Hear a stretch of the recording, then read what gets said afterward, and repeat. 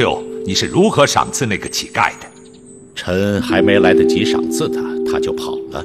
哦，他为何要逃跑呢？因为那个人就是长孙长虹。哦，是他。长孙长虹是谁？启禀陛下，他是臣妾远房的一个兄长。朕怎么从来没听皇后提起过他呀？臣妾与兄长小的时候就与他失散了，一直下落不明。如今姐姐做了皇后，长孙大人也是朝中重臣，天下无人不知。那长孙长虹为何不来与姐姐相认呢？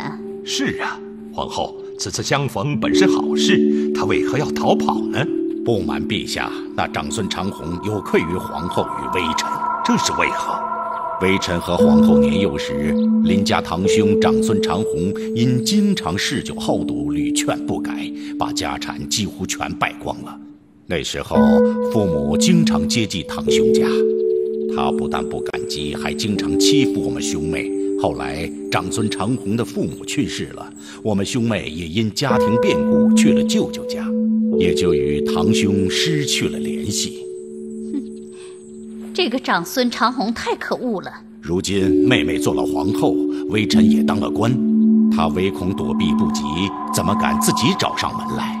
陛下，依臣妾之见，应该下令追捕这个长孙长虹，为皇后和长孙大人出口恶气。嗯，爱妃说的对，朕这就下令，全国范围内通缉长孙长虹。陛下且慢，皇后有何意见？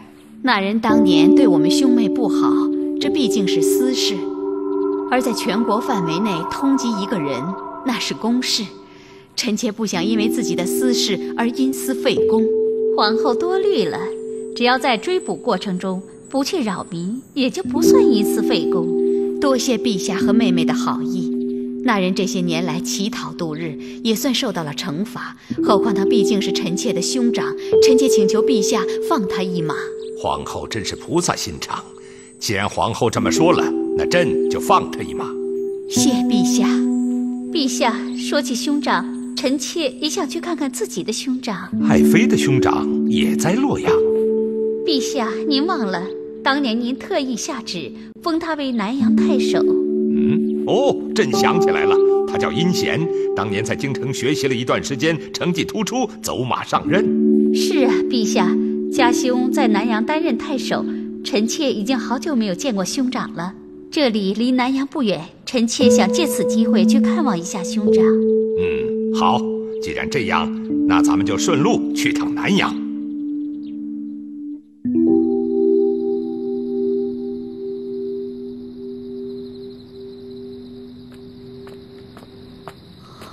皇后为何在此叹气呀？参见皇上。免礼。这么晚了，皇后不去休息，为何在此叹气？臣妾想起了一些私事，睡不着。皇后可是想起那长孙长虹？陛下怎么知道的？皇后一向宅心仁厚，见那长孙长虹如今沦为乞丐，于心不忍，是不是？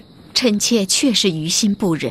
他当初对皇后兄妹刻薄，如今也是罪有应得呀。臣妾与哥哥自幼父母双亡，他虽然对我们兄妹不好，可他的父母曾经资助过我们一段时间。要不是他的父母，我们兄妹不会有今天。古人说：“恩欲报，怨欲忘，报怨短，报恩长。”虽然他对我们兄妹不好，可他的父母对我们有恩。虽说是远房，也毕竟是我们的兄长。如今臣妾锦衣玉食，他却沦为乞丐。臣妾实在是不忍心呢。啊，哎呀，皇后无需难过，朕私下派人寻访长孙长虹的下落，一旦有消息，马上带来与皇后相见。谢陛下。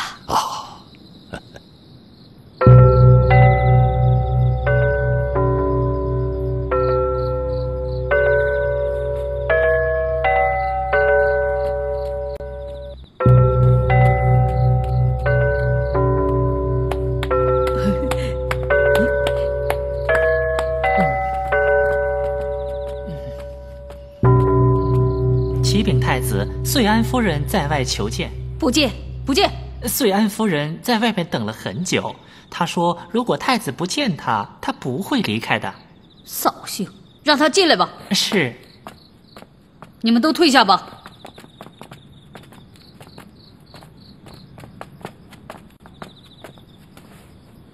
参见太子。奶妈免礼，这么晚了来找我，不知有何贵干？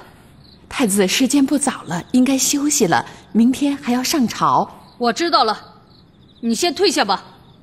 皇后临走前吩咐奴婢提醒太子亥时休息，现在已经快到子时了，请太子安歇。本宫说知道了，你没听见吗？可是太子夫人，太子今天心情烦躁，您不要再惹太子生气了。可是皇后临走前吩咐，皇后临走前吩咐夫人好好的照顾太子，是不是？正是。夫人这么晚了来劝谏太子，已经尽了您的本分。今天太子遇到了一些不顺心的事情，需要放松一下。过一会儿自然会去休息的。可是，难道夫人想惹太子不高兴吗？啊，那奴婢告退了。太子早点休息。哎呀，母后走了，还要让奶妈时刻监督我，明显是对我不信任。依我之见，必定是二皇子在皇后面前说了您的坏话。二皇帝太可恶了。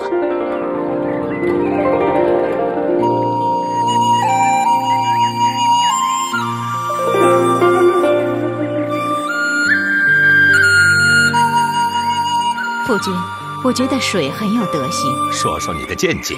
老子说：“上善若水。”世间万物的生存都需要水的滋润，水利益万物，但是却从来没有跟人、跟万物要过回报。所以我认为水很有德行，值得我们世人学习。爱妻能够从水中体会出人生的道理，令朕很佩服啊。姐姐饱读诗书，就是与我们一般人不一样。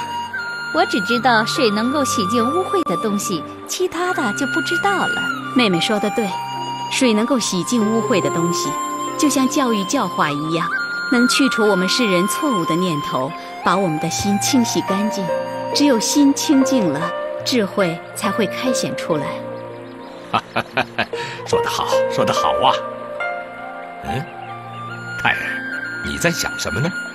孩儿想起了《论语》中的一句话：“哦，哪一句？逝者如斯夫，不舍昼夜。”你为何会想起这句话来？孩儿曾经做过很多事，都是做做停停，很难有恒心从头做到尾。可是有一样东西却是从来没有停留过的。哦，是哪件事？光阴。嗯，光阴就像这长流不息的水一样，一去不复返。孩儿决心今后一定珍惜时光，不使一生空度。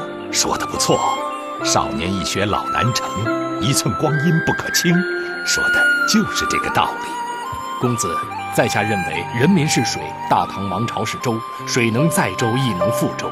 嗯，魏先生的意思是，在下的意思是，想使国家太平昌盛，公子一定要有一颗为天下百姓负责的心。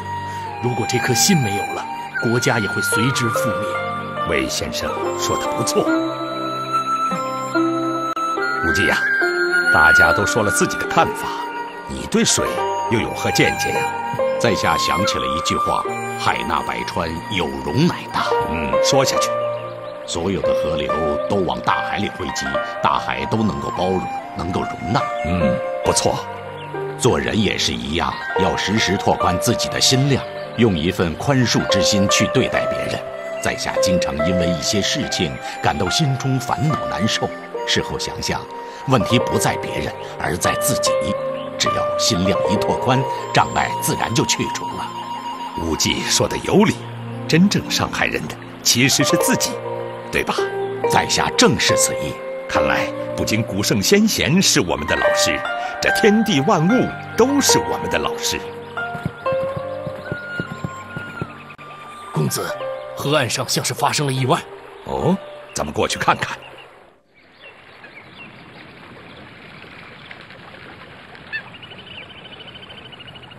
臣阴贤接驾来迟，请陛下恕罪。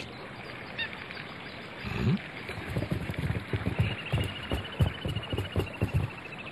平身。谢陛下。朕此次微服出巡，你如此大张旗鼓。是怕百姓不知道朕来你们南阳了吗？啊，呃，臣知罪。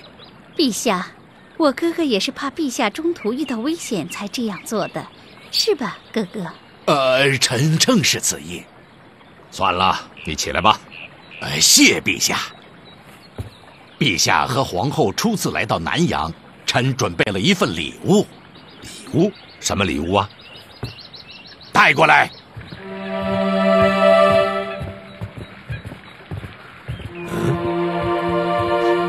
长孙长虹，这次逃来南阳被臣抓获，交由陛下、皇后发落。陛下饶命，皇后饶命。兄长不要这样，兄长请起。啊，嗯啊，多谢殷太守帮我找到兄长。皇后，那长孙长虹不是与您有仇吗？您怎么？殷太守误会了，哀家自幼与兄长失散，若不是太守帮忙寻到，我们兄妹也不会在此地重逢。太守的恩情，哀家终身难忘。哦，皇后言重了，这是臣应尽的本分。只是刚才对这位国舅无礼，还望皇后原谅。不知者无罪，太守不必介意。陛下，这里不是说话的地方，咱们进城再说吧。好。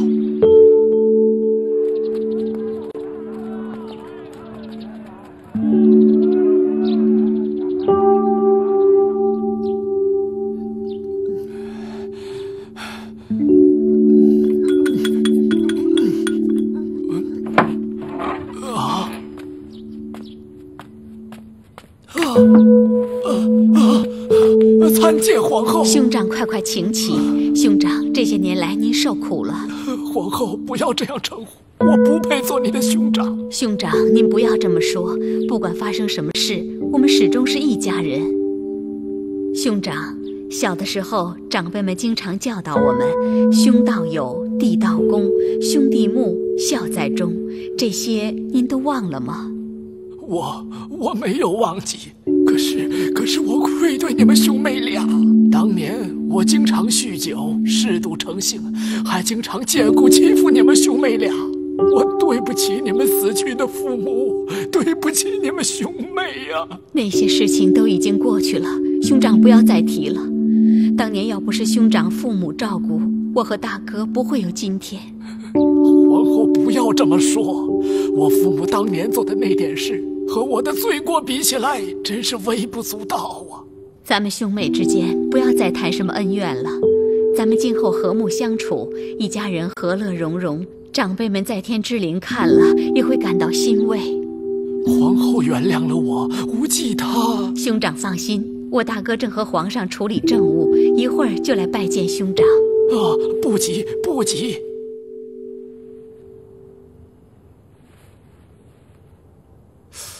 这就是传说中的南阳独山玉啊！正是哦，这玉石色泽鲜艳，触手细腻，不亚于翡翠，真是世间珍品。陛下，古人说玩物丧志，臣认为这玉石再好，也不过是一件饰品，不应痴迷其中啊。魏爱卿说的有理。嗯，嗯，殷爱卿。朕久慕诸葛武侯大名，对他鞠躬尽瘁、死而后已的精神甚为钦佩。朕想去他南阳草庐一观，以表对古圣先贤的追思。陛下英明，臣这就去安排。此行不必大张旗鼓，就我们几个人前去就行了。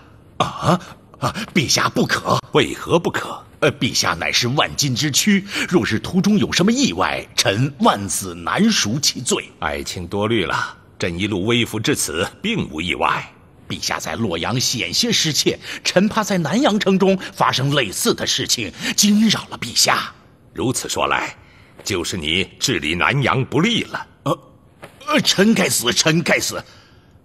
陛下息怒，殷太守也是为陛下安危着想。方才殷太守率兵迎接陛下，想来已经惊动了百姓。臣认为还是以防万一为好。国舅说的有理，殷爱卿，你起来吧。哦，谢陛下，谢陛下。草庐之行，你略作安排即可，切忌扰民。臣遵旨。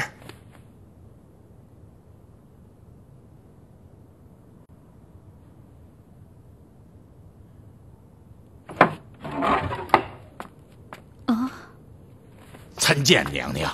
这里又没有外人，大哥不需多礼。这玉石做的珊瑚树真不错。这珊瑚说世上只有两颗，哦，一颗送给了陛下，这一颗为兄特意留给了妹妹。啊，多谢大哥。妹妹，我听你说，那长孙长虹不是与皇后有仇吗？在洛阳的时候，皇后和长孙大人的确是那样说的。可是看皇后今天的样子，像是兄妹情深呢。皇后那个人城府极深，谁也猜不透她究竟想的是什么。呃，我抓了长孙长虹，会不会惹得皇后不高兴啊？皇后那个人很小气，说不定真的会对大哥不利。啊，那我该怎么办？大哥放心，现在陛下宠爱我，亮皇后眼下也不敢对大哥不利。只怕……只怕什么？只怕妹妹我日后失宠。难保皇后不趁机报复。这这该如何是好？若是我当了皇后，那就不怕了。啊！妹妹，这话可不能乱说。这里又没有外人，怕什么？只要我们兄妹齐心，这皇后之位就是我的。寡人倒想看看，这皇后之位如何是你的。陛下饶命！陛下饶命！陛下饶命啊！饶命啊！陛下饶命啊！饶命啊！你们身为臣子，不安守自己的本分，私下密谋，要对皇后不利，如此不忠不义之人，寡人要你们何用？来人，在在，将阴贤押入大牢，择日发配边疆充军。是是。哎呀，陛下饶命！陛下饶命啊！陛下饶命啊！朕自问对你不薄，你竟然心怀鬼胎，要算计皇后，你太让朕失望了。臣妾知罪，请陛下饶恕。不是朕不想饶恕你，是朕不能饶恕你。陛下，朕若饶恕你，后宫嫔妃都像你这样，后宫岂不是要大乱？来人，赐朕酒。陛下，陛下饶命啊！陛下饶命啊！陛下饶命！奴婢不想死啊！陛下且慢，陛下且慢。臣妾请求皇上饶恕殷妃妹妹一命。殷妃想要害你，你还为她求情？殷妃伺候陛下多年，无功也有劳。况且这件事，殷妃只是私下说说，并没有真的害臣妾。臣妾恳请陛下不要妄开杀戒。朕知道皇后心思，可殷妃的确有害你的动机。朕不杀她，恐怕难以服众。陛下，服众不一定非要杀人，人死了不能解决问题，对死了的、活着的人都没有意义。那，那该怎么办？臣妾认为，经过这件事，殷妃妹妹已经受到了教训。给妹妹一个改过自新的机会。既然皇后求情，就赦了她的死罪，将她打入冷宫，静思己过。谢陛下开恩，谢陛下，谢陛下。想不到此次出宫遇到这么多烦心事，朕打算明日回宫。陛下，阴贤伏法，这南阳无人管理，您看？嗯嗯，长孙长虹为朕找到玉佩，朕还没有赏赐他。朕封他为南阳太守，管理南阳。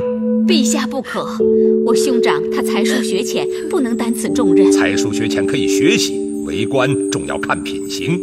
国舅在洛阳拾到朕的玉佩，不据为己有，上交官府，是可造之才。陛下，朕已经决定了，皇后无需多言。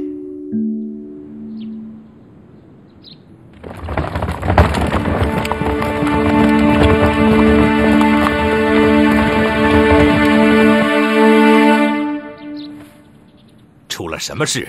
呃，启禀陛下，前面有一个老者拦住车驾，说要觐见陛下。哦。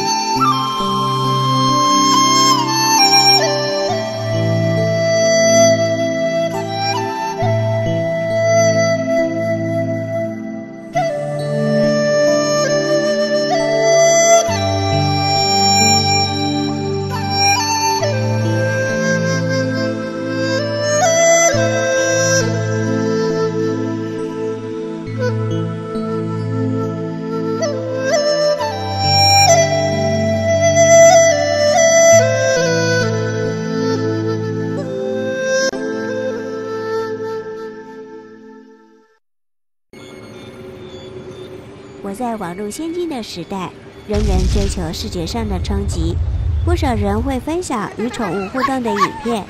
这天，我也登上了网络。即将表演的是一场喂食秀，而我即将成为饲料，被一只巨蟒把玩。眼前的巨大利齿是我最后的记忆。透过大师傅的接引，我来到了天堂。这里有许许多多不同遭遇的同伴，因为这里的慈祥安和，大家都过得很开心，而且这里的一切似乎都是真的，是真正属于我们的天堂哦。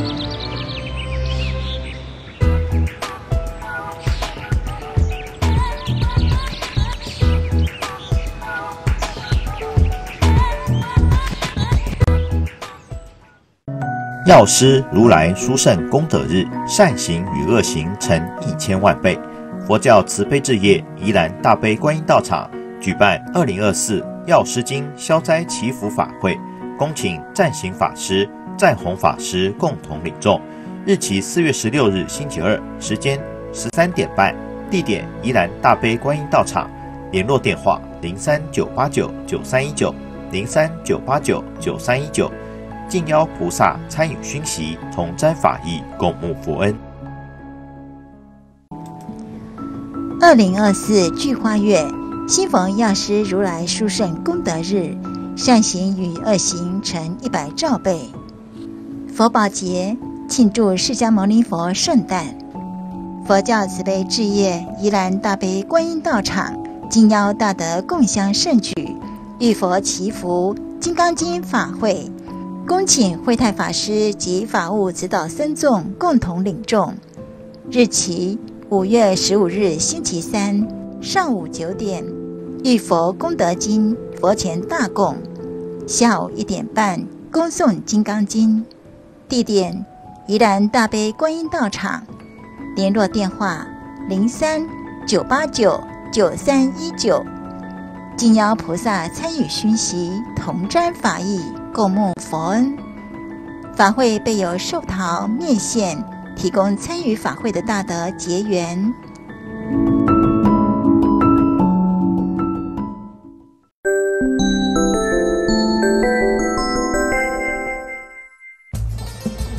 印度有一位美丽的茉莉皇后，她是波斯匿王的太太。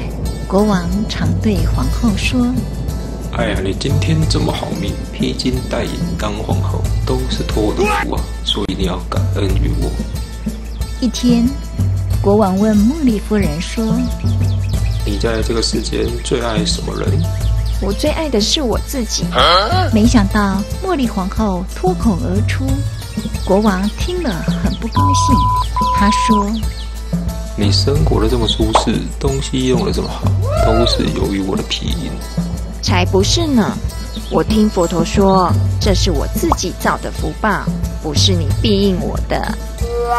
波斯利王很生气，他要让皇后知道，他的一切都是自己的赐予，所以趁晚上皇后睡觉时，故意叫人把送皇后一颗又大又亮的钻石戒指偷走，把它扔到河里去了。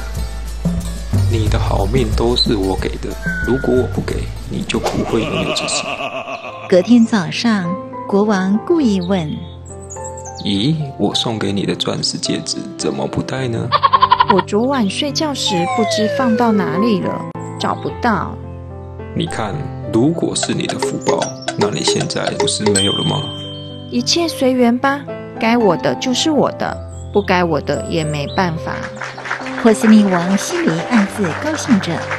两三天之后，茉莉皇后要招待外宾，于是叫仆人去买几条大鱼回来烹煮。结果仆人宰杀时，发现鱼肚子里有一枚钻石戒指，便赶快请皇后来看。这不是我的钻石戒指吗？皇后看了很高兴，于是把它戴在手指上。马上去找波斯女王。国王，你看，我的钻石戒指又回来了。波斯匿王很惊讶，也很不好意思，便老实招出自己丢钻石到河里的事情。最后，他终于相信，不是我庇应他的荣华富贵，是他自己的福报。学佛多一点。从这个故事的内容，其实能延伸教孩子日常的应对礼节。如故事中的国王认为皇后的富贵因他而来，皇后最后则证实了自己的好命运是自己修来的福报。但是两人的应对及风度足以作为孩子的模范。当然，父母亲在家里处理大小事也应公正和平，才是孩子最好的身教。所谓命由我立，福自己求，祸福无门，为人自招，善恶之报如影随形。佛教讲的是因缘，当因缘成熟时，有些人的定业就会出现。